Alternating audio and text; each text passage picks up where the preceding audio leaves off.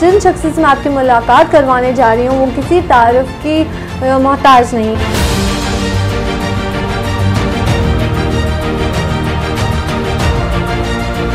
क्या क्या आप भी किसी सियासी जमात के साथ मुंसलिक हैं? नहीं मेरा अल्हम्दुलिल्लाह किसी पॉलिटिकल पार्टी से कोई ताल्लुक नहीं है।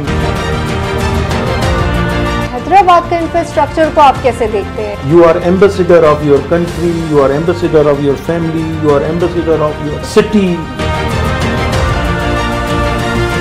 लोगों के हुकूक को लेने में, अदालतों में जिंदगियाँ, बल्कि उनके औलाद की जिंदगियाँ भी लग जाती हैं।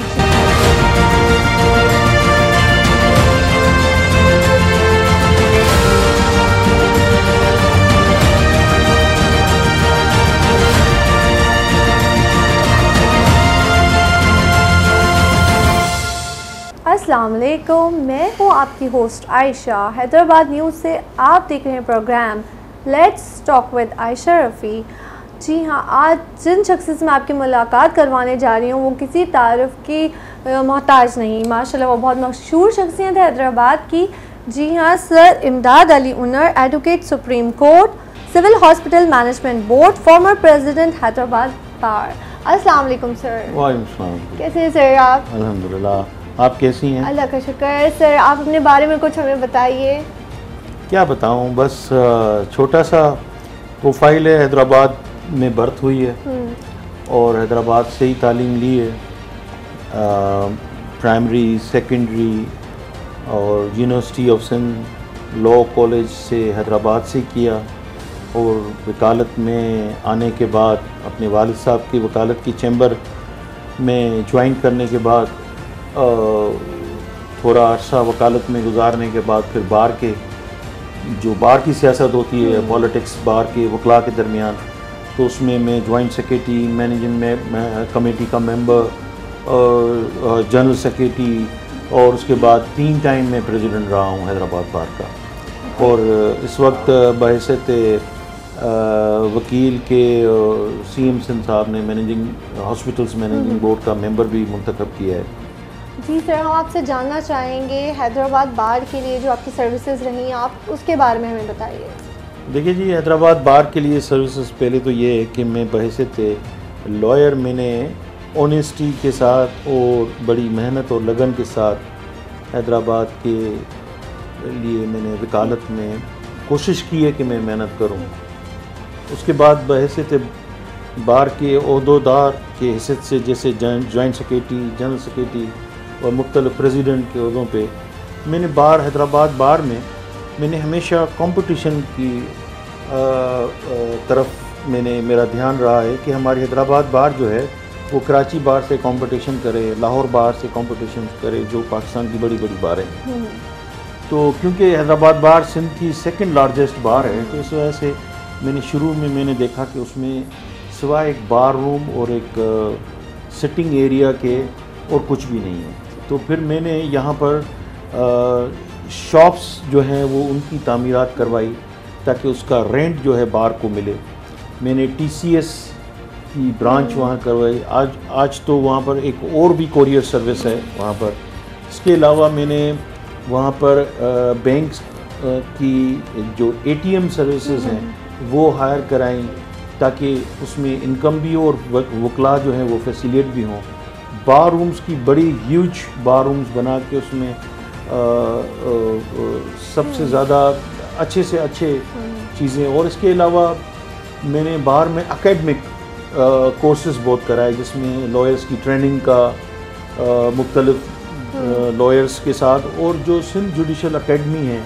जो जजेस को ट्रेनिंग करवाते हैं उनके साथ भी मैंने कोऑर्डिनेशन रख के और बाहर की क्योंकि जिस जब तक लॉयर स्किल्ड नहीं होगा तब तक वो अपनी वकालत में महारत नहीं हासिल कर सकता। तो अच्छा सर इसी के साथ एक और जानना चाहूँगी बात कि आपको सीएम साहब ने जो अभी civil hospital managing board committee member किया तो इसकी क्या सर्विसेज़ हैं? इसके लिए आपका शोभा क्या काम कर रहा है हैदराबाद के लिए? हॉस्पिटल्स के आप क्या रुझान देखते हैं कि किस चीज़ की ज़रूरत है इसमें? मसली देखिए एक तो इसमें मैंने आ, ये जो मैनेजिंग बोर्ड है इसका एक कानून पास हुआ है सिंध असेंबली ने किया है। इसका क्रेडिट भी मैं समझता हूँ ये जो रूलिंग पार्टी है उसको है। और उससे उन्होंने एक शहर का एमपीए एक शहर का रिन्यूड लॉयर और जो लम्स के जो वाइस चांसलर हैं वो उस कमेटी के मेंबर हैं। वो उसको फंड्स उसकी इक्विपमेंट्स उसकी चीज़ों को सुपरवाइज करते हैं। और तो उस हवाले से मैंने एक वहाँ पर जो कमेटी के जो इजलास था बोर्ड का उस बोर्ड के इजलास में मैंने एक बात उठाई कि देखें यहाँ सिविल हॉस्पिटल्स में रश ज़्यादा हो गई है लोगों के पास इतने यहाँ पर स्पेस हम्म, नहीं है हम्म। तो जो यहाँ से सखर से और यहाँ नवाबशाह और इस इलाके से जो हम्म। लोग आते हैं तो एक दूसरी साइड पे जहाँ हुसड़ी इलाका आपने सुना होगा। मैंने कहा वहाँ पर आप एक दूसरी हॉस्पिटल बनाएँ सिविल हॉस्पिटल ताकि रश जो है वो बाइफरकेट हो जाए ताकि कुछ उधर कुछ उधर हम्म। ताकि एक और ये एक नई हॉस्पिटल भी बन जाएगी। तो वो बोर्ड ने अप्रूव किया है मेरी इस रिक्वेजिशन को। Government hmm. को भेजा हुआ है। इनशाला मैं समझता हूँ। और कि ये गवर्नमेंट इस तरह का फैसला करेगी तो बहुत अच्छा बेहतर होगा। बाकी मेडिसन और इन हम्म। चीज़ों के ऊपर हॉस्पिटल्स अभी अच्छा काम कर रही है। ग्रेट सर आपने बड़ी अच्छी बात बताई क्योंकि ये बात मेरी भी नॉलेज में नहीं थी कि माशाल्लाह गवर्नमेंट इस तरह काम करी है कि आप लोगों को भी हायर किया है कमेटी बनी है इसके बारे में मुझे मालूम नहीं थी। बहुत शुक्रिया आपने इसके बारे में हम लोगों को इन्फॉर्म किया। अच्छा जी सर और थोड़ा सा मज़ीद ये जानना चाहूँगी 2007 से पहले जो वकला का एक स्कोप था और 2007 के बाद जो आप उसके बारे में कुछ डिफ़ाइन करें क्या स्कोप है? वकालत जी जी वकालत में। देखिए 2007 का आप इसलिए नाम ले रही हैं शायद चौधरी इफ्तार साहब की के लिए या जो लीगल फर्टिनिटी जो तहरीक चली थी बिल्कुल। जो है अगेंस्ट उस वक्त के जो जी, थे प्रेसिडेंट। तो बहरहाल उसमें देखें उससे पहले वकला का थोड़ा सा हम्म, हम्म। जो प्रोफेशनल कैरेक्टर था और 2007 की तहरीक के बाद बुकला कुछ सियासत में भी इन्वॉल्व हो गए हैं। तो फ़र्क थोड़ा सा ये आ गया है। वैसे मैं बिलीव करता हूँ बुकला का प्रोफेशनलिज्म में। और पॉलिटिक्स जो है वो एक अलग शोबा है हम्म। और एक अलग सर्विसेज़ हैं। लीगल सर्विसेज़ एक अलग हैं। वकला का थोड़ा माइंड और अप्रोच हम्म। जो है वो पॉलिटिकल हो गई है। और वो प्रोफेशनलिज्म थोड़ा सा कम हुआ है। कम हुआ है। हाँ मगर ख़त्म नहीं हुआ है। सर आपसे एक और बात जानना चाहूँगी पॉलिटिक्स का नाम लिया। क्या आप भी किसी सियासी जमात के साथ मुंसलिक हैं? नहीं मेरा अल्हम्दुलिल्लाह किसी पॉलिटिकल पार्टी से कोई ताल्लुक नहीं है। मेरा सिर्फ़ प्रोफेशनलिज्म हम्म। पे बिलीव करता हूँ। मेरा किसी सियासी पार्टी से कोई ताल्लुक नहीं जी जी हम मौजूद हैं सर के साथ हम लॉ की ही बातें करेंगे आप लोग सोच रहे होंगे क्योंकि हम इतनी इन्फॉर्मेटिव ये जो है ना आज वीडियो आप लोगों को प्रोवाइड कर रहे हैं सर से मैं ये जानना चाहूँगी सर ये हमारे कानून में हम्म।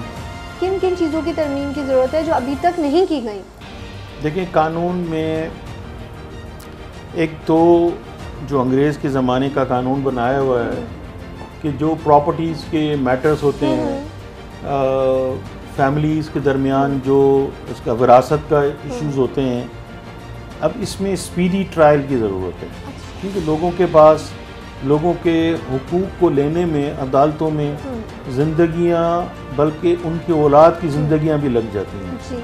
तो इसमें स्पीडी ट्रायल्स की ज़रूरत है। जिस तरह जस्टिस आसिफ सईद खोसा साहब के वक्त में क्रिमिनल जो प्रोसीडिंग्स होती हैं उनके एक स्पीडी ट्रायल की कि सात दिन के अंदर मर्डर केस का फैसला हो जाएगा। तो ये इस तरह से सिविल ट्रायल की भी इसी तरीके से होनी चाहिए। जिस तरह आप देखें कि कुछ सिस्टर्स कुछ बहनें हम्म। होती हैं जिनको भाई डिप्राइव करते हैं प्रॉपर्टीज़ हम्म। से। और उनके उसमें बारह बड़े फैसले भी हुए हैं सुप्रीम हम्म। कोर्ट के। उसमें स्पीडी ट्रायल स्पेशल कोर्ट्स की ज़रूरत है। और उसमें लोअर जो जुडिशरी है उसमें जिस तरह सिविल जज है या सीनियर सिविल जजेस हैं इनकी ज़रूरत नहीं है। इनसे बहुत सीनियर जैसे डिस्ट्रिक्ट जजेस हैं जो मोस्ट सीनियर जजेस हैं उनके पास एक स्पेशल ट्रिब्यूनल होना चाहिए जो जो बहनों को या खातन को डिप्राइव करते हैं बेवा को डिप्राइव किया जाता है तो इस तरीके से उनके लिए स्पीडी अब वो एक तो उसके साथ भाई जुल्म कर रहा है या ससुराल वाले भी ससुराल वाले जुल्म कर रहे हैं और ऊपर से अदालतों में आके लॉयर इंगेज करे फिर लॉयर की ह्यूज फ़ीस अदा करे उसके बाद सालों गुजारे अब ज़िंदा रहे या मर जाए तो इस वजह से इसके लिए स्पीडी ट्रायल्स होनी चाहिए स्पेशल ट्रिब्यूनल्स होने चाहिए। दूसरी मसला ये है कि एक मालिक मकान किराए पे देता है। हम्म, तो अब अगर वो किराया अदा करता है हम्म, तो ठीक है अगर किराया अदा नहीं करता है तो वो डिफ़ॉल्ट में चला जाता है। जब वो डिफ़ॉल्ट में चला जाता है तो उसकी रिकवरी जो है उस रेंट कंट्रोलर जो उसको जगह खाली कराता है सिर्फ़ उसको पावर है जगह खाली कराने की रिकवरी की नहीं। रिकवरी के लिए जो रेंट उसके लिए हो गया हम्म, तो उसके लिए फिर उसको दूसरा मुकदमा लड़ना पड़ेगा वकील इंगेज करना पड़ेगा फिर उसको उस कोर्ट में जाना पड़ेगा उसके अखराज अदा करने पड़ेंगे। फिर जाके उसका अपना अमाउंट रिकवर होगा। सर इसी के साथ एक और सवाल करूँगी। अभी एक कोई नया साल है किसी को नीड है लॉयर की तो वो कैसे जज करे कि भाई ये लॉयर ठीक है या नहीं? मतलब क्या कैटेगरी उसे तो पता ही नहीं कभी उसने लॉयर हायर नहीं किया। तो उसके बारे में कुछ बताएँ आप हमारे जैसे को। हुक्म भी है। कि आप एक चीज़ खरीदते हैं हम्म। तो दो चार हम्म, दुकानों से खरीद जाँच के समझ के उसके बाद लेते हैं। जी जी जी।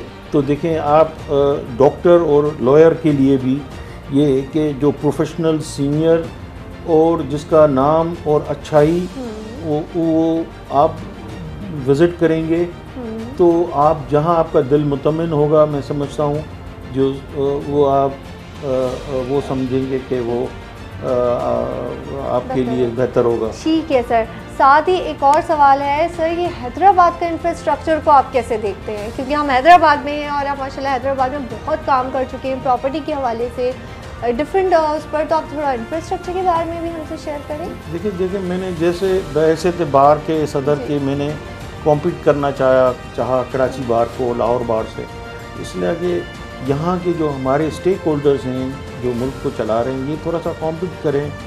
अब तो हम अब हम अमेरिका से क्या कॉम्पीट करेंगे? कम से कम बांग्लादेश से कॉम्पीट कर लें ज़रा थाईलैंड से कॉम्पीट कर लें ज़रा मलेशिया से कॉम्पीट कर लें। तो ये दुनिया वहाँ पर हम्म, इस तरह से है कि देखें अब यूरोप में हम जाते हैं तो एक ऐसा रोड है जहाँ ट्राम हम्म, चलती है जहाँ पर इवन बरतानिया में भी हम्म, ट्राम चलते हैं कार चलते हैं। बाकी रोड ऐसे हैं कि सिर्फ़ साइकिल और वॉक करते हैं। अब जैसे हमारा ऑटोबान रोड है यहाँ पर ट्रैफ़िक की गाड़ियों की कोई ज़रूरत नहीं है। एक जगह एक पार्किंग हो जाए उसके बाद सारा रोड बंदा वॉक करता हुआ चला करता जाए। तो ये एक इजी इन्वायरमेंट क्रिएट कर सकते हैं। इंफ्रास्ट्रक्चर जो भी भी डैमेज हुआ हुआ है सफाइयों की ये वो इनकी सख्त ज़रूरत है। इसका सिर्फ़ गवर्नमेंट फंड्स देगी। इंफ्रास्ट्रक्चर बेहतर से बेहतर हो सकता है। दूसरे चीज़ें स्टेक होल्डर्स हम खुद भी हैं हम खुद अगर सफ़ाई का ख्याल नहीं रखेंगे तो अपने मोहल्लों में अपने शहरों में तो ये भी नुकसान हमारा ही है। सर आपने अभी एक लॉ फर्म बनाई है Rasool Bakhsh owner firm law firm तो अ, सर उसके हवाले से आप हमें थोड़ा सा बताएँ। देखिए जी अ, बार काउंसिल में अ, एक तो इंडिपेंडेंट रजिस्ट्रेशन होती है। Individual as a lawyer registration लेगा तो वकालत करेगा।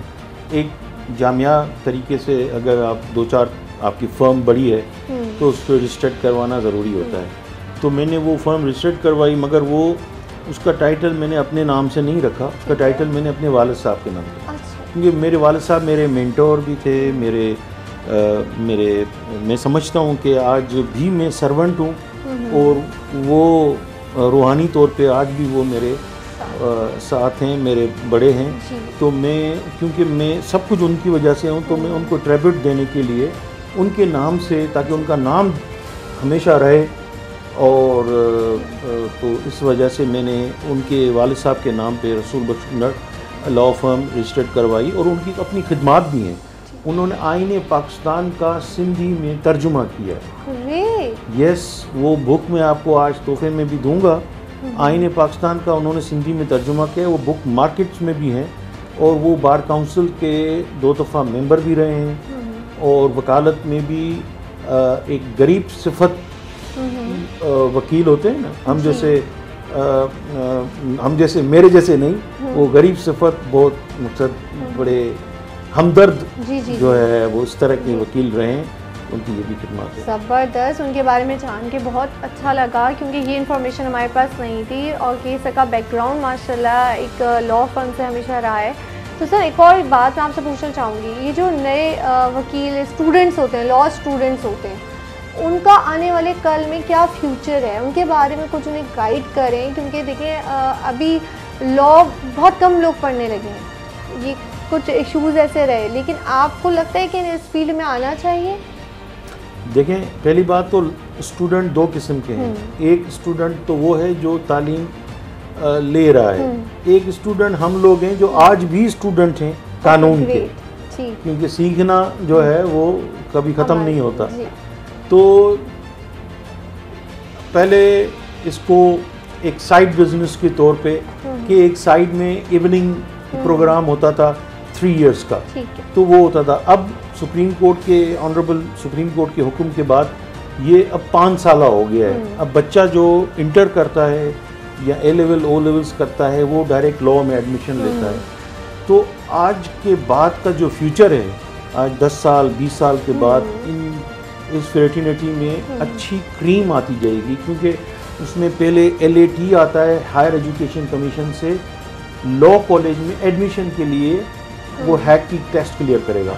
लॉ के बाद वो लॉ गेट देगा फिर हायर एजुकेशन कमीशन के टेस्ट देगा फिर वो उसकी बार में एंट्री होगी।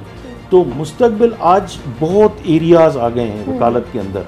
सिर्फ़ एक जनरल प्रैक्टिस नहीं रही एक क्रिमिनल साइड सिविल साइड आइनी साइड कस्टम मुख्तलिफ़ किस्म की फील्ड्स आ गई हैं। गवर्नमेंट के अ, में प्रोसिक्यूटर्स डिप्टी डिस्ट्रिक्ट अटैनीज और कॉरपोरेशंस में लीगल ऑफिसर्स बैंक्स में लीगल ऑफिसर्स तो मुख्तलिफ़ एरियाज़ में बहुत वास्ट फ़ील्ड आ गई है। आइंदा का मुस्तकबिल बहुत अच्छा है बहुत अच्छा है। और क्योंकि देखें आप सिर्फ़ जॉब करना और में आप सिर्फ़ ये लोग बच्चे अपने पेरेंट्स के ऊपर डिपेंड करते हैं कि वकालत भी पढ़ा भी लिया कि जॉब भी दिला दें। जॉब तो है ही नहीं। तो ये वो फ़ील्ड है जिसमें आप जितना अच्छी मेहनत करके आएँगे उतना ज़्यादा कामयाब होंगे। ग्रेट यानी स्कोप बहुत अच्छा है और अगर मेहनत और सच्चाई के साथ जो है ईमानदारी के साथ। ईमानदारी के साथ। लगन के साथ। लगन के साथ हम हाँ। जो है वो कानून को पढ़ें और उसको इम्प्लीमेंट करें। और एक और बात भी है ना कि देखें हमें हमारे हुकूक जो है वो पाकिस्तान का आइन देता है। हमारी लोअर लेवल पे स्टूडेंट्स जो एजुकेशन हायर एजुकेशन लेते हैं ना वहाँ से आइन पाकिस्तान की तालीम होनी चाहिए। ताकि जिससे बच्चा बड़ा हो तो उसको पता हो कि मेरे हुकूक क्या हैं। यानी एक ये तालीम भी होनी चाहिए शुरू से ताकि बच्चों में इंटरेस्ट भी डेवलप हो और उन्हें अपने राइट्स के बारे में भी पता राइट्स के बारे में पता हो। बिल्कुल शुक्रिया। सर आ, आप हमारी जो है हैदराबाद के लोगों को कोई मैसेज देना चाहेंगे? क्योंकि अभी यहाँ हम मैं हम अपने प्रोग्राम का अख्ताम करने लगे हैं और हम चाहेंगे कि आप कोई अच्छा मैसेज दीजिए प्लीज़ मेरा मैसेज ये है कि आप अपनी शख्सियत में इंसाफ करें। एज अ हस्बैंड इंसाफ करें एज अ वाइफ इंसाफ करें एज अ नेबर मोहल्ले वाला की हैसियत में इंसाफ करें एज अ ब्रदर इंसाफ करें। आप ये ना समझें, सिर्फ़ अदालतों में इंसाफ होता है और अदालतों में जो जज बैठा है वो इंसाफ करेगा। नहीं। आपने खुद भी इंसाफ करना है। अपने रिश्तों में आप किसी जा रहे हैं रोड पे, कोई बंदा जा रहा है, उसको एक्सेस दे दें आप, चला जाए ना। मगर वो क्लैश हो जाता है। तो आप हर हैसियत में इंसाफ करें। एज अ पाकिस्तानी की हैसियत में भी आप इंसाफ करें। पाकिस्तान का नाम बदनाम ना हो। शहर एज हैदराबादी शहर शहरी होने के बाद हैदराबाद का नाम बदनाम ना हो। You are ambassador of your country you are ambassador of your family you are ambassador of your city तो यही है कि आप इंसाफ सिर्फ़ कोर्टों के ऊपर न अ, लगाएँ आप खुद भी इंसाफ करें। बहुत बहुत शुक्रिया। हमारे साथ मौजूद थे एडवोकेट सुप्रीम कोर्ट और यही मैं आप लोगों से इजाज़त चाहूँगी। साथ इसके खुश रहिए, मज़बूत सोच रखिए।